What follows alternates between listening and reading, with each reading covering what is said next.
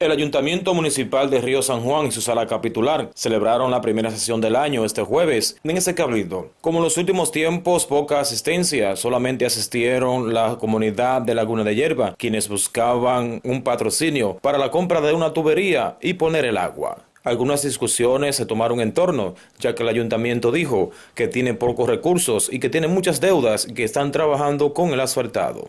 la petición o no. No, si podemos contar, o no. A uno de los viajes de varios para acá, de eso de para acá.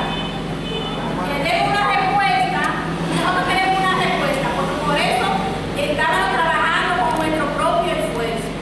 Para no venir a hablar, a hablar que otro mañana no, nosotros queremos una respuesta. Si nos pueden ayudar, no pueden, si no, que digan que no.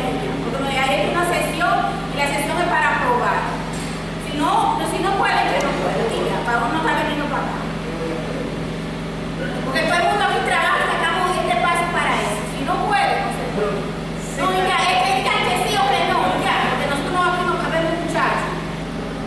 No voy a decirle a ustedes que no, pero tampoco puedo decir que mañana, porque mañana no se puede, ni ahora se puede. También estamos haciendo otra gestión, otra gestión, vía el ayuntamiento. Asunto, asunto interno del ayuntamiento. Si nosotros no valemos a Y ustedes, es- entonces, oiga, no para que, para que, como son un grupo, para que entiendan. Y estamos haciendo una gestión de ayuntamiento donde hay una esperanza para la primera semana de febrero.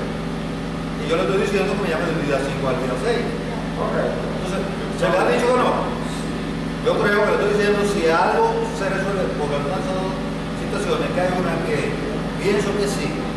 Por lo estoy diciendo que me llame del 5 al 6.